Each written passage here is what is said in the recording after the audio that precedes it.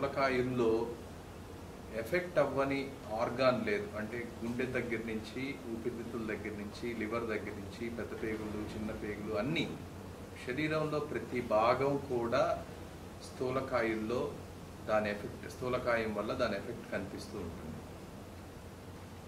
ఈ స్థూలకాయానికి శాశ్వత చికిత్స పర్మనెంట్ ట్రీట్మెంట్ కేవలం సర్జరీతో మాత్రమే సాధ్యం.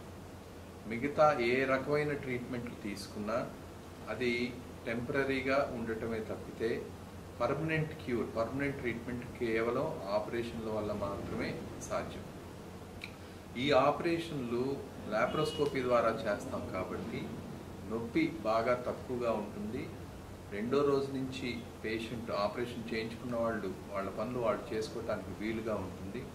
చాలా త్వరగా ఇంటికి వెళ్ళిపోయి వాళ్ళు ఆఫీసులకు కూడా వెళ్ళడానికి అవకాశం ఉంటుంది.